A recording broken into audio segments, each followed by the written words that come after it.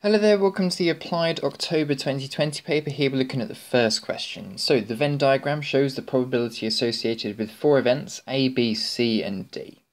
Part A is write down any of the mutually exclusive events from A, B, C or D. Now what mutually exclusive means is there's no overlap in the Venn diagrams. So we could say for example A and C are mutually exclusive because there is no overlap in the Venn diagram. Alternatively, you could say D and C, or even D and B are mutually exclusive. Any of those answers, I'd put A and C. Given that probability of B is 0.4 calculates the value of P, well P here is going to be um, added together with 0.24 and 0.07 to make 0.4 in total, because the B circle should represent a probability of 0.4. So I'll do on my calculator 0.4 minus 0.07 minus 0.24 equals 0.09. Uh, yeah, 0.09, so I don't need to write any calculation for that. It's only a one marker, so it's 0.09.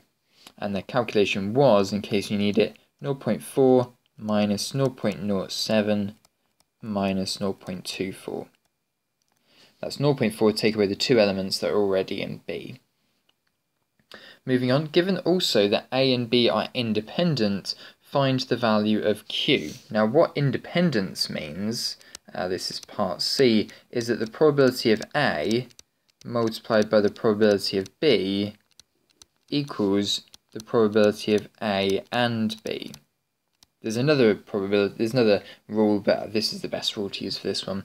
So the probability of A is going to be 0.16 add 0.24 add Q, so that's going to be 0.4 add q, that's the probability of A, that's all of circle A, multiplied by the probability of B, which is 0.4, we've just been told that previously, equals the probability of A and B, that's the intersection.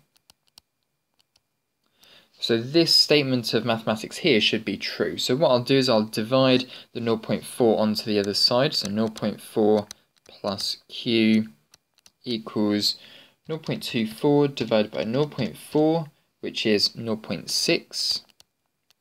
So therefore Q equals 0.2.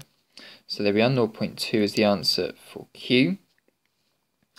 Moving on to part D, given further that the probability of not B given that C is true is equal to 0.64, find the, the values of R and the value of S.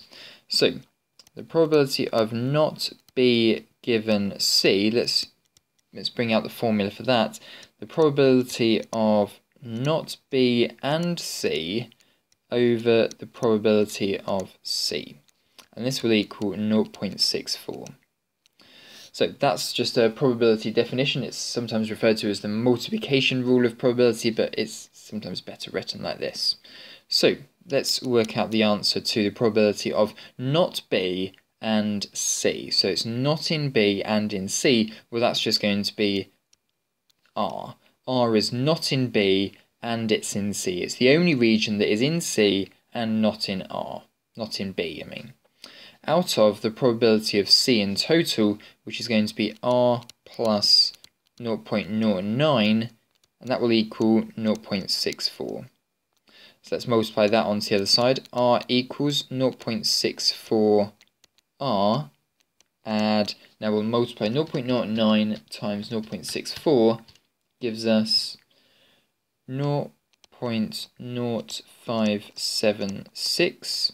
Let's now move this term here onto the other side, so that would be 0.36 R equals 0.0576.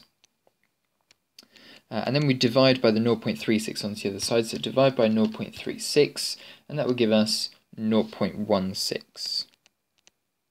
So therefore this value here is 0.16. And then the final answer to work out what s is equal to, it's going to be 1 minus everything that's on this Venn diagram already. So 1 minus 0.2 and 0.16 and 0.24 and 0.07 and 0.09 and 0.16 and the answer we get for that is, let's just type it out onto the calculator, it's going to be 0.08. So 0.08 is the answer for S. And there we are, that's the answer for this 8 mark question here on question 1. Let's now move on to question 2.